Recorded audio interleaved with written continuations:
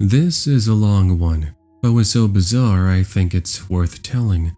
I wanted to post it because this person recently tried to friend my now husband on Facebook and it brought back crazy memories, and I need to vent it out.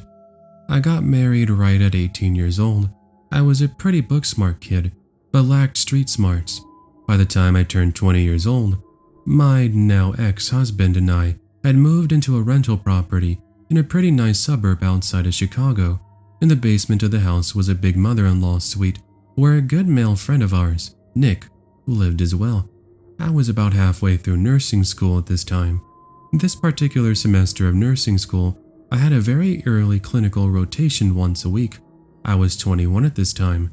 I'm not a morning person at all, so in order to maximize the amount of time I spent asleep, I started loading all my stuff into my car the night before bags, books, and even my purse. Again, street smarts lacking. One particular night before clinicals, I asked my ex husband Bobby to get a book for my car. Bob does, but forgets to lock the door. The next morning, when I got to my car, I note that my purse is now gone. I ended up filing a police report. I was most concerned because I just got in this new job at nurse's aide at a hospital and I had my social security card still sitting in my wallet. Strike 3 for street smarts. Almost immediately after the theft, strange things start to happen. We started getting ding-dong ditches all hours of the day and night. Someone vandalized mine, Nick's, and Bob's cars with strange graffiti, swastikas, hangmen, etc.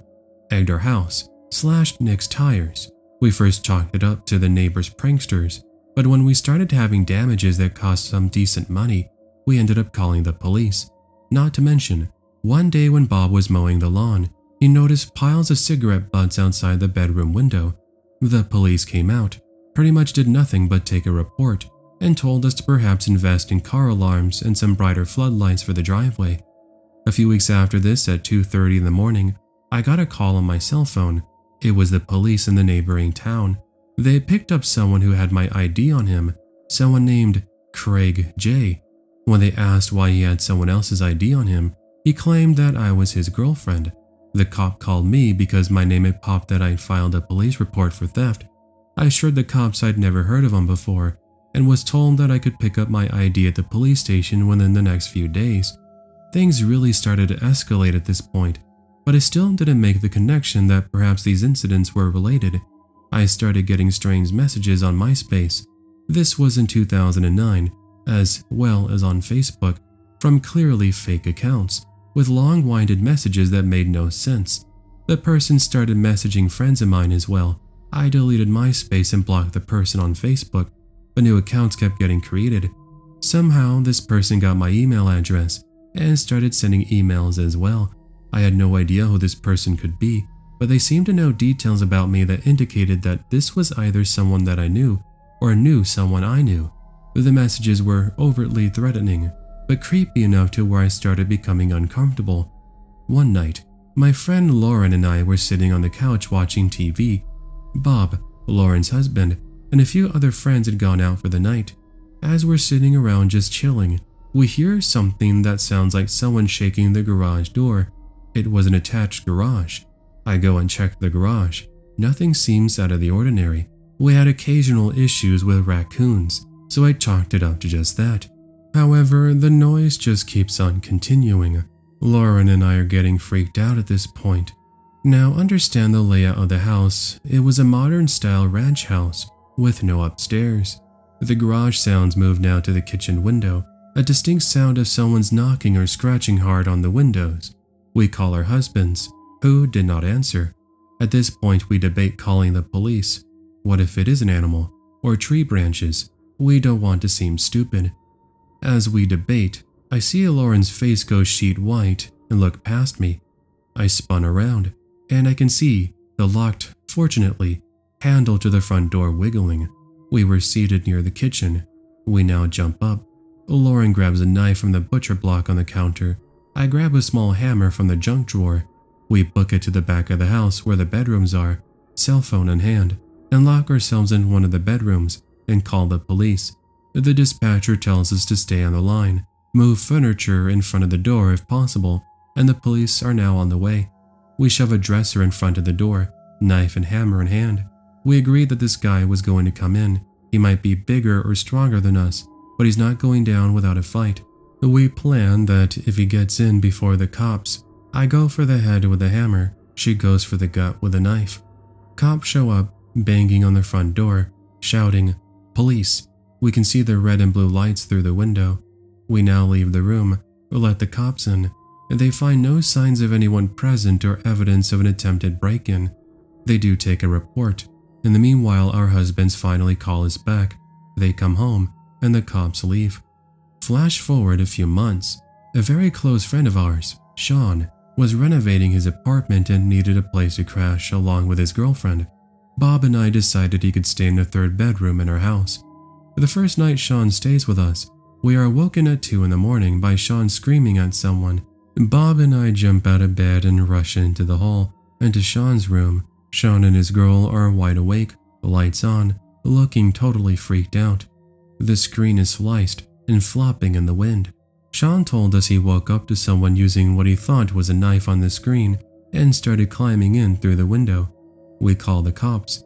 They come out and take a statement. Sean describes the guy as best he could. A white male, young looking, semi-shaved head with what looked like darker hair. Cops does for fingerprints, comes back as a match for Craig J. Turns out I knew who he was, but vaguely. He was a year younger than me and we had gone to the same high school, but I couldn't remember having any significant interactions with him. He lived with his parents only a few blocks from my parents' house. I ended up reaching out to high school acquaintances who knew him, and they remembered him as nice, but odd of a kid, kind of quiet, but definitely on the strange side, who had dropped out of school before graduation. Upon realizing that Sean had just moved in, the cops make a statement that chilled us all. He probably didn't realize that anybody was staying in this bedroom and thought the room would be empty. Cops go there, arrest him. He suddenly has quite the story for them. Him and I were secret lovers. I was ignoring him. We had a relationship. He had also been allowed into my home many times. I'm obviously floored. He gets charged with something like trespassing or breaking and entering and does a light time for it, maybe a month, and has to pay a fine. In the meanwhile, I got a restraining order on him, but he gets out and I hear nothing from him. I also ended up developing a completely irrational fear of first floor windows. Around Christmas of 2010, I am now 23 years old. I figure the whole Craig thing is in the past. Bob and I decide to divorce, unrelated to this, and go our separate ways, and Nick has long since moved out. We ended the lease. I moved to a less desirable suburb, but with affordable rent. I settle on an apartment in a four-unit building that had a locked entrance, and the only way in was with a key or with someone opening the door from the inside. I lived on the second floor. By this time I'd graduated and was now a nurse, and was working now at a nursing home. Spring slash summer of 2011, it started up again, with calls coming through to me at work, only to have someone hang up. Letters suddenly appeared in the staff-only mailbox, mailed to me with no return address. The strange emails started up again from random accounts. The messages were never overly threatening, but they were long, way too frequent, way too out there. He spoke to me as if we were long lost friends and had some sort of connection. I don't think he ever threatened to hurt me, although the cutting into the house with a knife? Well, I don't know what was going on through his mind.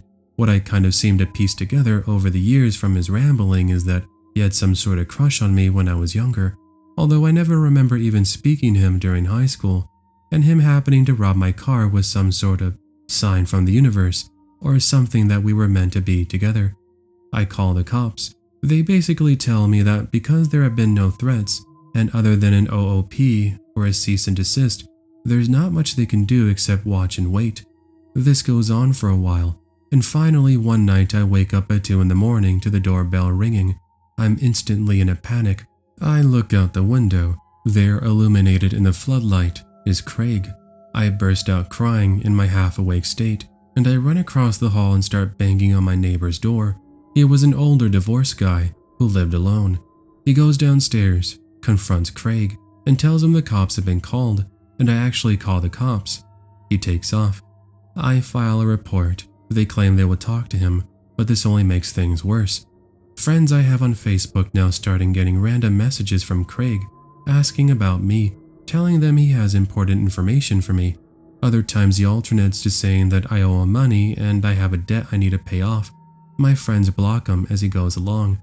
Meanwhile, my younger sister is living in the city with a few friends. He somehow finds out where she lives and drives to her apartment and confronts her while she has people over. She freaks out. They kick him out, and she calls the cops, who basically again state that he didn't commit a crime but offer her a restraining order. Right after this, another incident. My younger cousin is a high school senior on the cross country team. He shows up at my cousin's practice. Cousin has no clue who he is. He starts demanding information on me. Coach gets involved. Craig gets into a fight with the coach. The cops are called. He's banned from the school grounds, but nothing more. He calls the nursing home administrator at my job, asking him to talk to me and that he has important information to tell me. Uh, the administrator, my work was now aware of the situation, tells him not to come onto the property or he will have him arrested for trespassing. At this point, I'm paranoid beyond measure. Then, just as quickly as it started, it faded off. It's now summer of 2012, and the final crapper in the saga. I'm almost 25 now. A friend of mine named Stacy, and incidentally Sean's ex, moved in with me temporarily while she looked for a place. She was dating a new guy and spent quite a few nights at his place. One day, I picked up a double shift starting at 7 a.m. and ending at 11:30 p.m. Stacy texts me around 3:30 p.m. stating she won't be home that night and was going out with her guy. I arrive home at almost midnight. First thing I notice is the door is unlocked. Uneasy, but thinking perhaps Stacy had just forgotten to lock it, I cautiously peer inside. I pan my gaze to the kitchen and living room. I just can't shake the feeling that I'm unsettled. Something just wasn't sitting right. Due to all these incidents, I always made sure that one of two lights were on, even when we weren't home. I was still not even fully in the door when I noticed that I was staring into a pitch black apartment, and immediately my brain went into a full panic, and I'm glad it did. Realistically, Stacy could have forgotten to leave a light on. However, my instincts were now in overdrive, and sounding off five alarm fire alarm bells. My Puerto Rican neighbor who lived in one of the building units was known for his weekend parties, and I could hear a party going on downstairs. I book it down the stairs and bust into the party, and I tell him what happened. He looks at me like I'm crazy, but agrees to come upstairs with me. We get inside. He looks around, and we see nobody. I'm starting to wonder if I'm just nuts. Maybe Stacy had her boyfriend over and they left in a hurry, forgetting to turn on the low lights and lock the doors. He agrees with me and sort of jokingly pulls open the pantry door. What I saw next will never, ever leave my mind. There, crouched inside, is Craig. Puerto Rican neighbor puts the guy into a chokehold, and I proceed to call the police. To this day, I have no idea what he planned on doing. Cops come out and he's arrested. Because my neighbor was having a party, he had the door open to the alleyway. Chances are he just walked into the building, and if anyone even noticed, people would just assume he was there for the party or whatever. It's more confusing how he got into the apartment itself. My theory is, my roommate at the time was from the country, while I lived in a suburb. It was the type of suburb right on the edge of a major US city, so we always locked our doors and generally kept everything secured as a rule. She was used to leaving her doors unlocked and wide open, and I think honestly it may have just slipped her mind when she went out to the door for the night. I confronted her about it and she of course denied it, but that's really the only logical way he could have gotten in. I always locked both the knob lock and the deadbolt whenever I left the house, unless he was a skilled locksmith. I have no idea how he could have gotten in. I didn't stay alone or go anywhere by myself for a long time after that. I feel that I actually developed a paranoia because of all of this and was highly suspicious of giving my number or any information out to anyone. He ended up being charged and convinced of aggravated stalking, breaking and entering, and some other charges as well. I did meet his parents in court, who are both shockingly very normal, apologetic people. They tried explaining their son and claimed that he was mentally ill and suffered from bipolar disorder. When he's medicated, he's okay. When he's off his medications, he's nuts. After he served time, I did not hear from him for years, until 2016 when he found me on Facebook. I was much older now, now around 29 years old. I replied to him very firmly that any contact would end in the police being called and that I had no interest in him at all. I blocked him in any way I could. Recently, he found my new husband on Facebook and friended him. He blocked him as well. To this day, I still have a paranoia. I had parked my car near a baseball diamond once, and some kids most likely hit a baseball into my windshield and took off because I had a perfectly baseball sized spider crack on the glass. Despite it being completely logical that it most likely was a ball, I instantly reverted to, oh god, is he back? I honestly have no idea what happened to him. I also am now a total psycho about keeping things locked. Twice my life got screwed up because doors weren't locked, my car door, and most likely my apartment door. I have an acquaintance monitor him on Facebook. His page is not private, and from what I've seen, he appears to go through periods where he's pretty inactive, and then episodes where he's rambling, overposting, oversharing, and acting generally deranged. I believe his parents were telling the truth when they stated that when he's medicated, he is okay. Part of me feels pretty bad for him. I am now older, and I've been a nurse now for almost 10 years, some of which time was spent in a psych specialty. The mind is a hell of a thing. Looking back though, those were some of the worst years in my adult life. It put me through a lot of anxiety and caused a lot of issues for me. I slept with my couch pushed against my apartment door for the next two years before I moved out of there. I'm now married, but on the nights where I'm home alone, I still find myself resisting the urge to stack furniture at the front of the doors. One of the other fallouts from this situation, Craig either sold, lost, or gave away my social security card that had been in my purse. Someone tried to file for Medicaid benefits in Arizona using my name and social, as well as obtained a job using my social and failed to pay any taxes, leaving me with a surprise asset freeze by the IRS and a whole financial mess that needed to be untangled before they unfroze my accounts and paid me back the money they started to pull out from my paychecks for the back taxes I had nothing to do with. My credit got extremely messed up for years because of it, and to this day, I have a lock on my social security number and monitor my accounts like a hawk. Moral of the story Never leave your purse in the car and always lock your doors. TLDR Stranger becomes infatuated with me for unknown reasons after stealing my purse, proceeds to stalk me and my family members for almost a decade. Stolen social security card and purse gets used and IRS tries to claim back taxes, as well as credit is messed up for years. Edit. Wow, this took off. Thanks all of you for helpful and kind responses. My inbox and the comments are flooded with a lot of similar questions, so let me answer from here. 1. A lot of you ask why did I not get a dog? I didn't do this because I live in an area where 95% of it is apartments. In any sort of decent neighborhood at least, do not allow animals over 25 pounds. Also, I was working a ton of hours, and when I wasn't working, being a young 20 something year old, I was out a lot. I didn't want to lock a poor animal up for 16 plus hours sometimes at a time, alone for the sake of the dog and my neighbors. I did slash do have a gun, along with an FOID card and CC.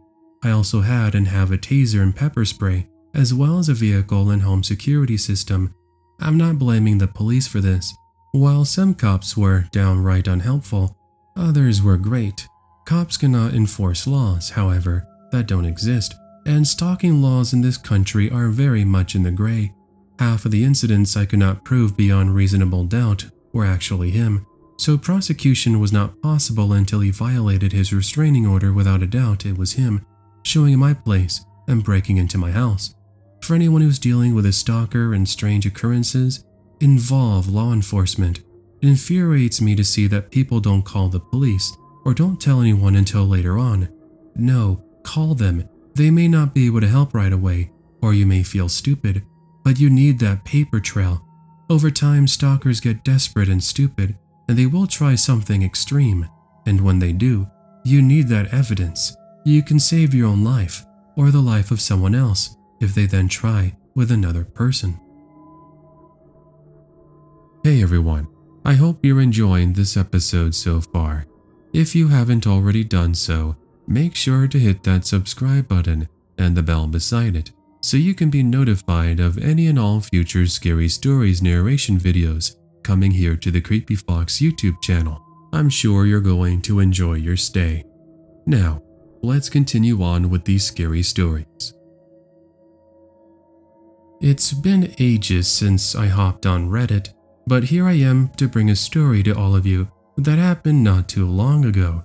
And while it happened to me, it didn't start with me, but my mother, though somehow I became the focus of it.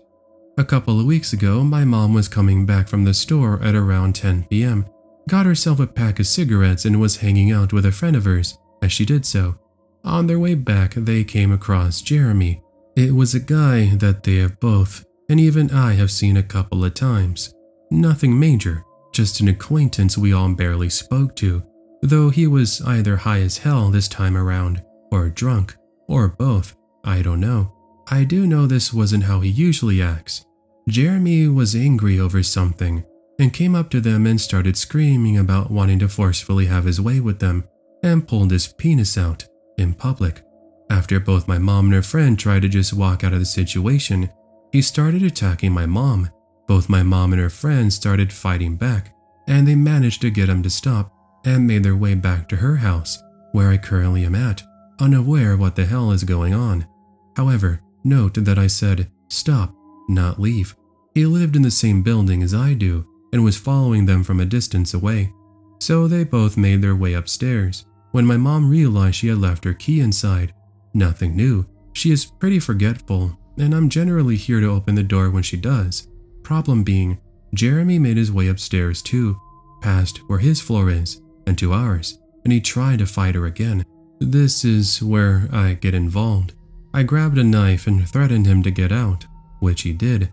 I have no idea how he managed to get this impression, but he seemed to think I was trying to fight him because after we made sure to slam the door the moment he exited and locked it, he started screaming at the top of his lungs about how we were chicken and to call the police, claiming he knows the landlord and can get him to delete any footage caught from the outside of the building and the hallways inside the building. My mom, being a quick thinker, started recording him from the door as he banged and kicked the door, trying to open it. Eventually, he left when he heard we actually were calling the cops. He would think that this would be over, right? Well, it keeps going. After a couple of minutes, he returns to the door with a knife and starts stabbing our door while screaming and insulting us at the top of his lungs. He said he was going to kill the cops too. The police can clearly hear him on the phone. I think that's why they came this time around since I mentioned in my last Reddit post these guys are absolutely useless. The doors in this building are strong stuff. Metal, I think. I don't know but while he made some light holes and scratches, he couldn't really do too much to it. So he shouts he'll be downstairs waiting for the cops, which we of course inform the cops currently on the phone of, and like perfect timing, while he makes his exit, they make their entrance, both using different elevators. There are two. Four officers knocked on our door and we opened up and told them what was going on and what happened from start to finish, while my mom showed the cops the footage she recorded I was taking pictures of the damages to the door. The cops, clearly not wanting to be here, said to come downstairs with them, so me and my mom did, to which we heard screaming from the first floor. We are on the fifth floor and heard him perfectly, though his screaming stopped real quick when four cops showed up. Instantly went, oh shit, and played nice with the cops. The cops were not having any of it and arrested Jeremy right there and then. His friends were there, asking what did he do and screaming and shouting at the cops before eventually running off. Jeremy was then taken away. I sent the damages of the door to lawyers, and do you want to know what happened about it? Silence. So this is where the story ends, right? Nope. Jeremy got off with a restraining order. However, since he lived in the same building as us, we couldn't stop him from simply being in the building. He was only not allowed to talk to us or cause any issues. This did not last long. On my way to the store, maybe two weeks later, he and his friends were all outside the building in a group, chatting and drinking. When I walked out, Jeremy instantly switched up the topic, saying, You see that kid? I'm gonna mess him up. he got the cops on me. Screw the restraining order. I wanted to get away from that as soon as possible, but I'd already left the building and would need to get close to the group I just finished taking my first couple of steps away from in order to get back inside. So I quickly made my way to the store since I would be in public with people present. I end up just getting everything I need to from the store while trying to call my mom to tell her what happened. She didn't answer. Great. And here's where I admit I was a little bit dumb. I should have instantly called the cops, but I didn't. I didn't remember what Jeremy was wearing, and I'm honestly a wreck with anxiety. I wanted to first see if the group was still there before I attempted to make a phone call. They weren't, and I quickly made my way upstairs to inform my mom, who calmed me down and got me to call the police. The same exact police as last time showed up, and thank God for that since they were well aware of Jeremy being a nutcase from the last time. However, this time we had no proof, other than what just ended up being a he said she said scenario. So they had to sit in the hallway while they called their boss to make sure the arrest would be okay due to the previous history and restraining order. All the while, Jeremy was in the staircase, laughing and being extremely loud with his friends and his sister, from what I later learned. Eventually, the police got an okay from their boss and we all made our way to the staircase. I try to stay as out of sight as possible as they once again arrested him. Jeremy claimed to be unaware of what he was being arrested for, and his friends left once again. His sister, who was in her mid 20s from what I could guess, was screaming though, insulting them and saying he was being arrested for no reason whatsoever. Jeremy was hauled away again, and I have no idea what happened. No calls from attorneys or the police. No nothing. However, I ended up seeing him within the week, straying from eye contact with me or my family. He usually walks away the moment he sees us. I just wish that more came out of this, but I'm happy we're being left alone all the same, though he is always pissed off at seeing me. Alright, so this is something that I've been wanting to post here for a while, but I was sorta too lazy to get a Reddit account and when I did, I was too lazy to write it out. But alas, I'm stuck in a bus again with 40 minutes of time to kill and no music in my new phone. This happened to me this June. Our school exams start around June 20th every year, and well, I chose not to do math the entire year and study hardcore the last month. Our school is a private school that I can't afford without a scholarship, so I had to have good results on those exams. So I got a tutor, who is also my best friend's mom. I spent almost every day at their place, which is on the other side of our small city. I live in Armenia, for context, and we're a poor second world country, so our public transport kinda sucks, and taxi's expensive. Minimum from our place to theirs is about 1,000 drams, which is $2 but is more like 15 to us. So I have to take a crappy minibus for 40 minutes every time I got there and come back. Now, until then, my experience with public transports were pretty mild. I'm a girl, which I guess if you're not an ogre results in at least a small amount of unnecessary attention, but you get used to it after a while. Nothing too worrying. I got hit on once and twice and stared at a lot, but it doesn't really bother me. I get away most of the time because of my chronic bitch face. I look like the most unapproachable person on earth let alone the bus or the station. So when this happened, I was beyond shook. That particular day had to stay longer than usual. It was four days before the exam, and I was extra panicky. Also, I should note that I looked like absolute shit. My hair was greasy in a bun, and I was wearing a huge hoodie and sweatpants. Not saying that it's a horrible look for everyone, but me in particular. I look like a potato sack with a head and an onion on said head as hair. So I got out at around 8.30 pm and it was getting dark. When I got on the bus, it was full dark and the bus was entirely empty. Now to explain this property, you need to imagine the bus I was in and how the seats are positioned. This is what the bus looks like. I was sitting on the first seat next to the window, left one, and as I said, I was the first passenger here. So two stops later, three men got on the bus. This dude who had the full ability to sit anywhere he wanted sat right next to me. I didn't really give it much thought because, eh, it's the first row seat. Maybe he just sat where he could. The two other dudes sat in the front, next to the driver's seat. We drive for another two stops, and a girl gets on. He gets up to move seats, and the girl sits next to me. He started talking to her, and she seemed quite uncomfortable, although giggled along. On the next stop, he moved to the singular seat next to the right window. Now, this is where the first red flags come in. He turns to her side full body and continues talking to her like, Pretty girl, when you getting off here? Maybe with me? And she's saying no and giggling uncomfortably. At this point, the driver himself is side eyeing this dude. A stop later, she gets up to pay and he touches her thigh. She turns around and yells at him to stop. The driver turns around and calls him a son of a bitch, tells him to sit back and not move until he gets off his bus. Kudos to the driver, honestly. Stuff like this is common bus culture, happened a couple of times to me and nobody ever said anything. Regardless, she practically jumps off the bus and speed walks away. My heart is racing at this point. I know it would have been noble of me to protect her, but I honestly couldn't. I was scared of the dude and I wouldn't have stopped him. It's 9.45 by now and the streets are emptying.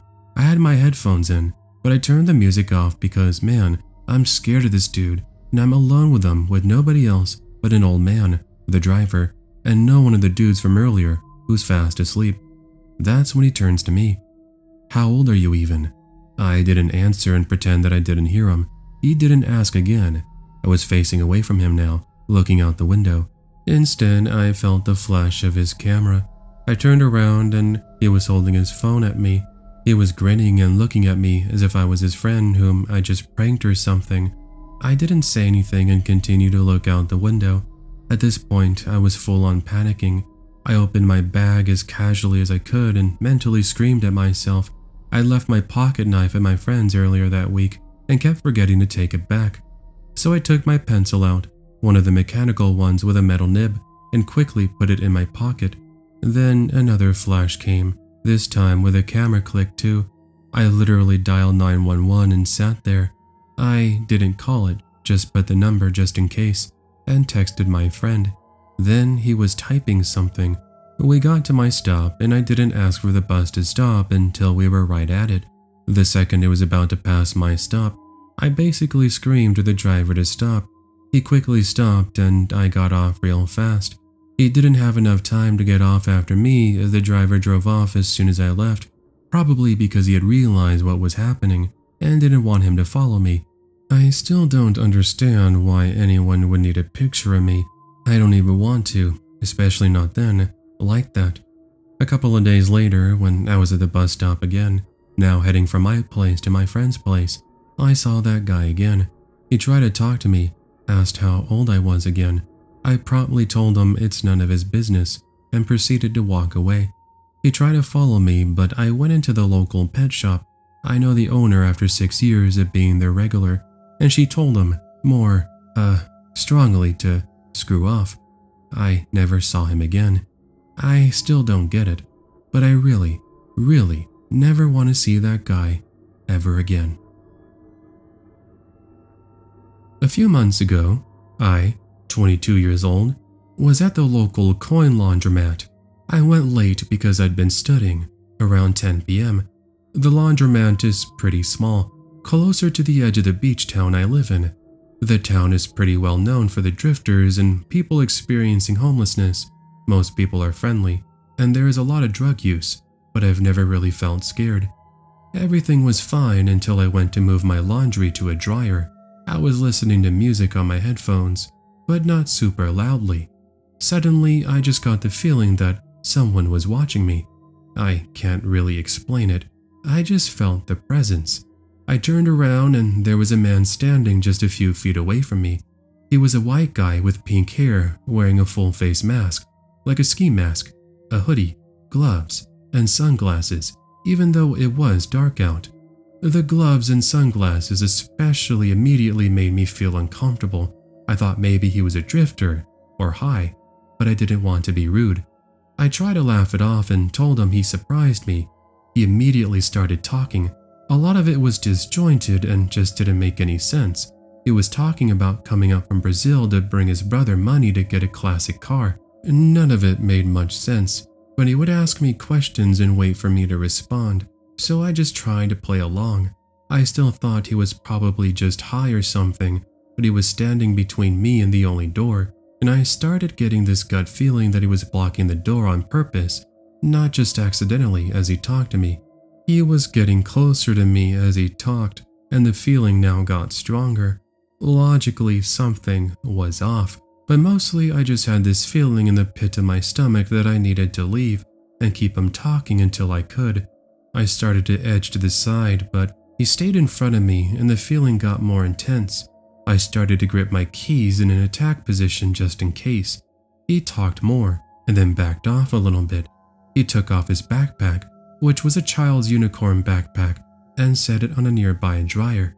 I looked over to the door for just a second, and when I looked back, he was pulling something I couldn't see out and holding it to the side, behind him where I couldn't see.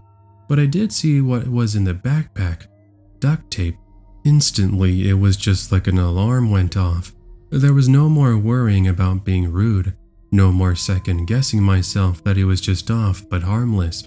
It was like this cold, numb dread just washed down over me. I almost felt calm, like I knew the next steps. I knew I had to do something.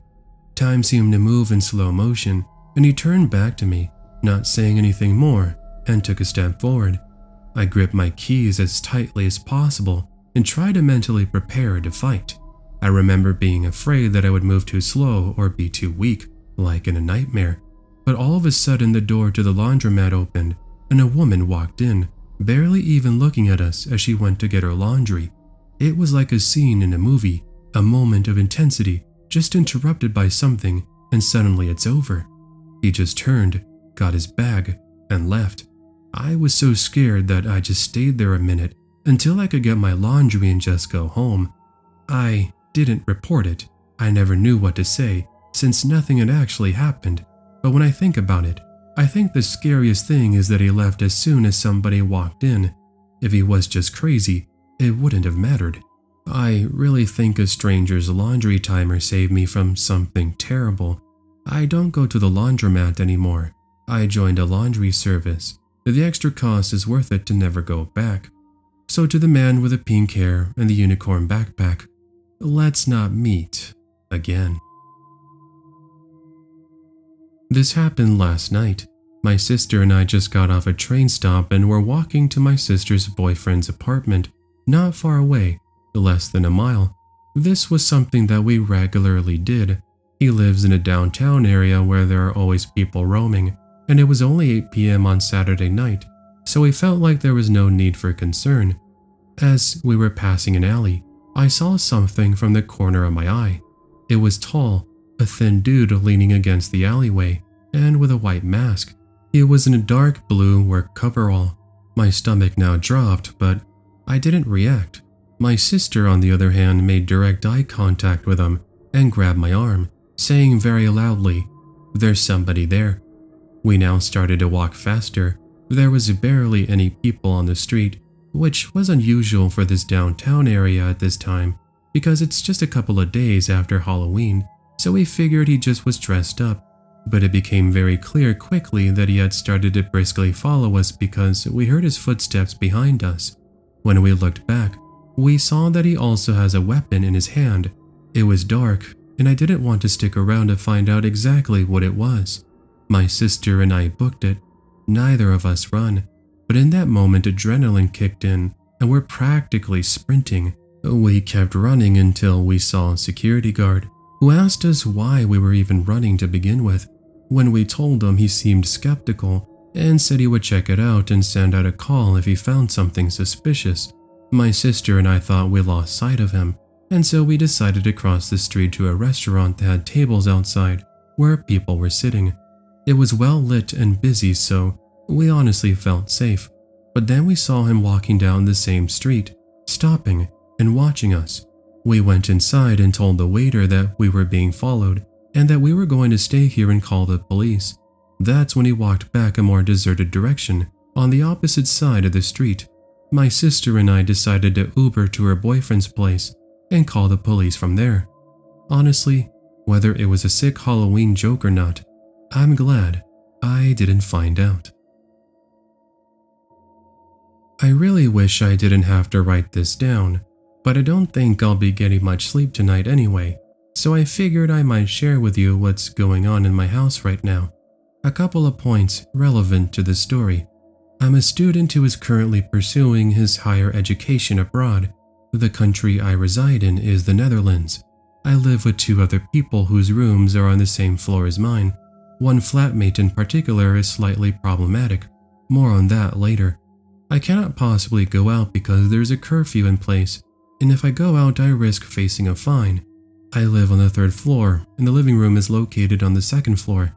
I work from home, and so I took a break from work to go and wash my plate in the kitchen. I usually eat in my room because I want to be close to my laptop, just in case something at work happens. This kitchen is located right next to the living room on the second floor, and in order to get there, I need to go downstairs and move through the living room. Please keep in mind that it's 11 pm here in the Netherlands, so it's pretty dark outside. So I go down and I turn on the lights in the kitchen without turning the lights in the living room on. I am already pretty familiar with the route to the kitchen, despite the darkness, as I have been living here for approximately a year and a half now.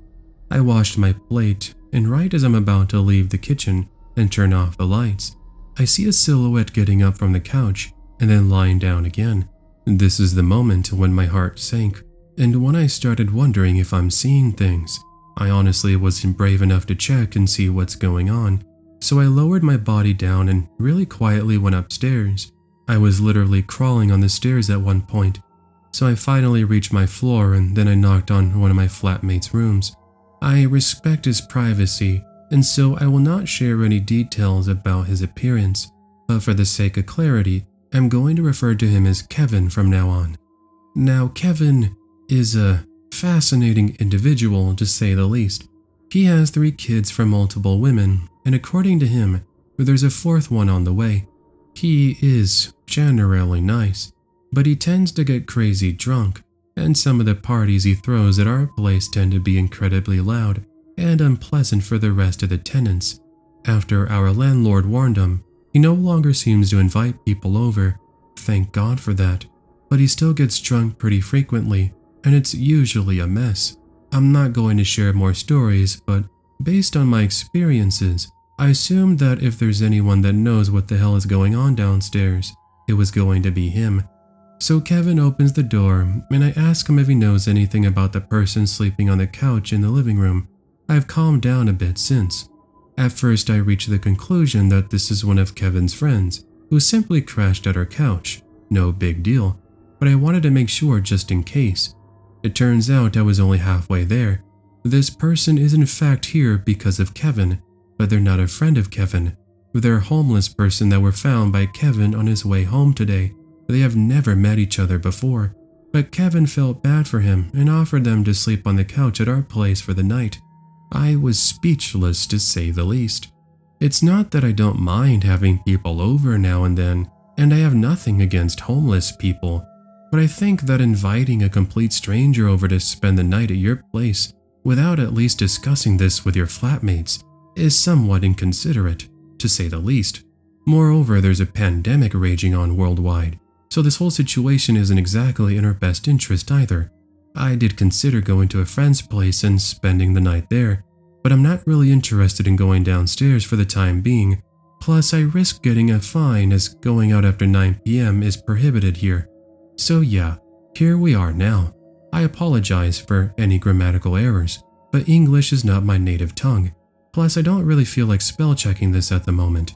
It's relatively quiet now, and let's just hope it's going to stay that way. TLDR, I went downstairs to wash my plate. Once I was done, I saw a silhouette on the couch in my living room. I shat my pants, quietly went upstairs, asked one of my flatmates if they know what's going on, and it turns out the silhouette is an unknown homeless person who is sleeping on her couch for the night. I had completely forgotten about this story until I started reading this Reddit, so thanks, I guess. But here goes. When I was in grade 7, I was 13, maybe 14. I had a short walk to and from school. I stayed late one day for school sport practice I don't remember specifically because I was on every sports team. so I ended up walking home alone on this particular day. I started on my regular route and I crossed a street and was now walking maybe 25 feet behind a guy who was in a long black trench coat carrying a basket. No big deal, so I kept walking, but then the guy starts looking back at me every 20 seconds or so. Being a 13 year old girl, I was taught to be scared of pretty much any unknown man, so naturally I start to slow my pace so I'm further back from him. He continues to look back at me. I continue to slow down and start debating turning around and going a different way when all of a sudden he turns around and pulls what looks like a machete out of his basket and just holds it out to the side, almost like a warning. I stop in my tracks and start walking backwards. He then turned back around and I booked it as fast as I could back the other way and took the long way home. I honestly have no idea if the machete was even real, but as a 13 year old, I was definitely scared shitless. This happened to me not too long ago. In fact, it's still ongoing, and I'll post updates when this happens more. But back in July of 2018, the last day of July, me and my group of friends started getting text messages from someone who was claiming they were going to murder us, and my friend who had a bird got a text saying they were going to shove his bird down his throat. We didn't know who this was, so we started looking. Oh, one of our friends, T, claimed I was the one doing this. Yet I don't have time to text someone at 3.30 in the morning and saying I'm going to come to their house and shove a bird down their throat, and I don't have multiple numbers. So we started suspecting it was T, the guy who was trying to blame it on other people. As the day went on, we got new messages, continually blocking the numbers they kept creating from a VoIP or a free number app such as Google Voice or Text Now, and we kept getting these text messages and we had no clue what to do with them. One of my friends, L, who was particularly younger than the rest of us, told his father, who told his mom, which was a massive mistake on his end, as you'll see later. The day after, my friend L went back to school and we were creeped out at everything, but the texter took a picture of my friend at his school and sent it to me. I was creeped out and I was ready to call the police, which had already been done, but they said that apparently they couldn't do anything about it. Another time that day, I went to Burger King and I got a photo taken of me and sent to my friend. We're all in the same basic area, so it makes sense that people would be running around. My friend L got a new phone number and the creepy texter got his new number somehow.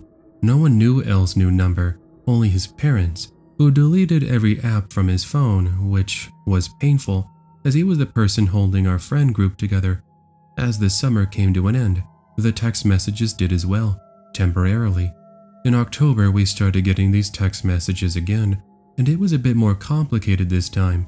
The person who was texting us was claiming to be named Hiru, and he started every sentence like this Hey buddy, Hiru told me you were at the theme park when my friend went to the theme park and it was still creepy, but the police who were called multiple times could not do anything, apparently, according to them. The text messages came back around December, with Hiru wishing everyone a Merry Christmas, aka sending threats to our phone number. We were all creeped out, and in January Hiru was now gone. There was once again another person, this time going by Ralph. His sentences started with, Hey, it's Ralph. Want to get coffee? I now knew it was either the guy from Review Tech USA's videos or someone who watches Review Tech USA, and it elevated a ton in February. The Ralph guy somehow got my parents' numbers and started texting them, and the guy said, Hey, it's Ralph. I'm outside your house, and I heard a car park in my driveway. I banged the window so hard and he sped off. A coincidence? Maybe, but it could have not been. He's never said that he was at my house before, unless it was the guy who wanted to kill me. Since that time, he's threatened to shoot up a school too. We called the emergency number. L's parents took his phone away completely for a few weeks, removed all his applications again, removed his iCloud, set screen time restrictions, everything.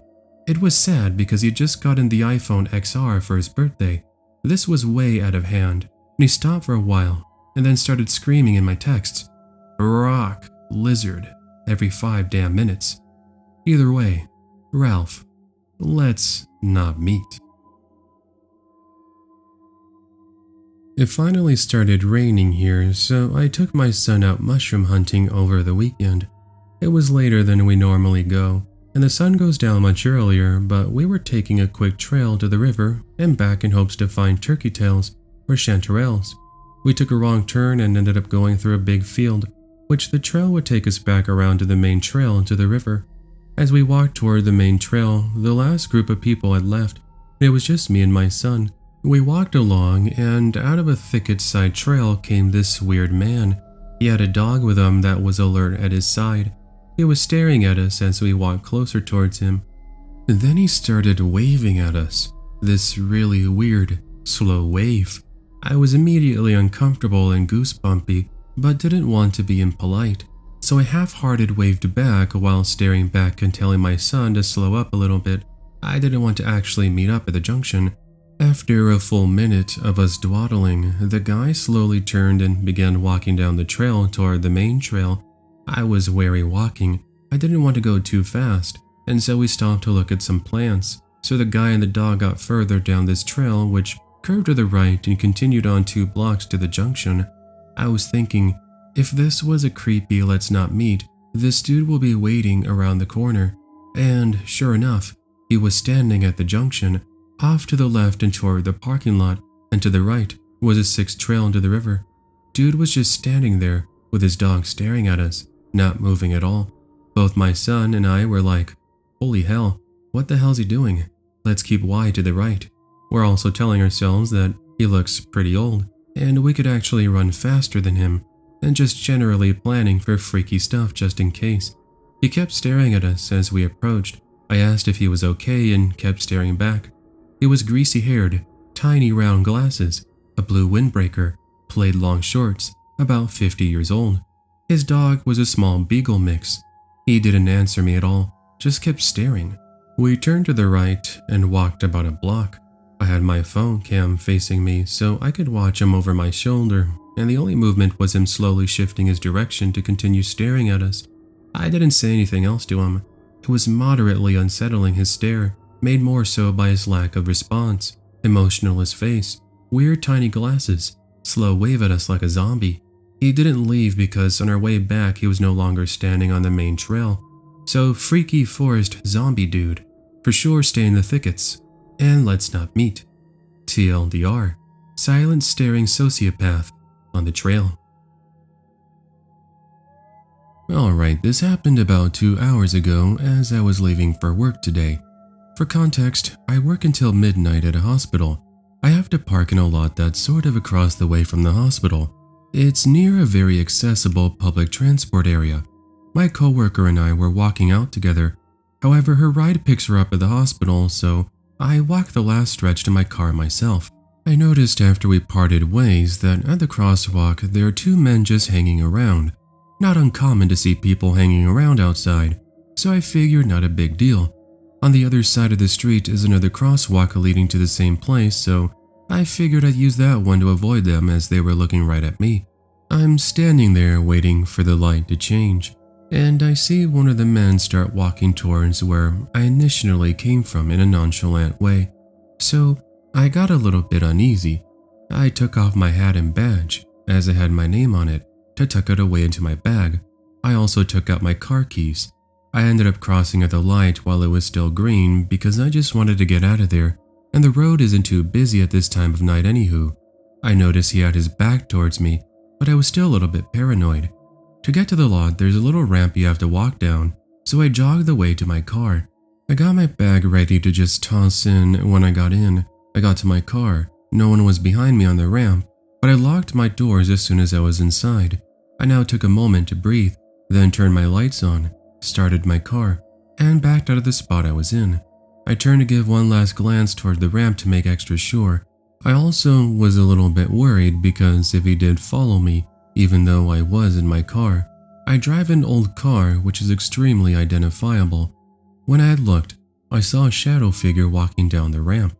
I was pulling out of the lot now.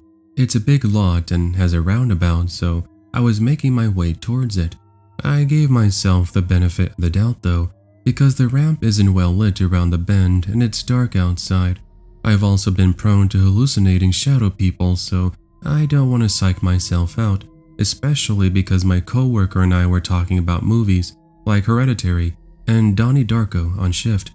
So once I got a little bit back from where I pulled out from, I slowed down to take another look. It was definitely a person walking down the ramp.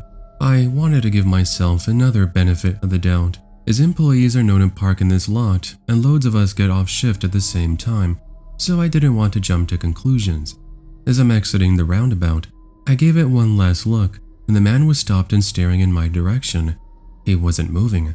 I got freaked out, and so I started to drive off rather fast, as I had my main concern of this guy knowing and seeing my very recognizable car. I hardly stopped at all on my way home, rushing to even get inside my flat in case somebody else was prowling about.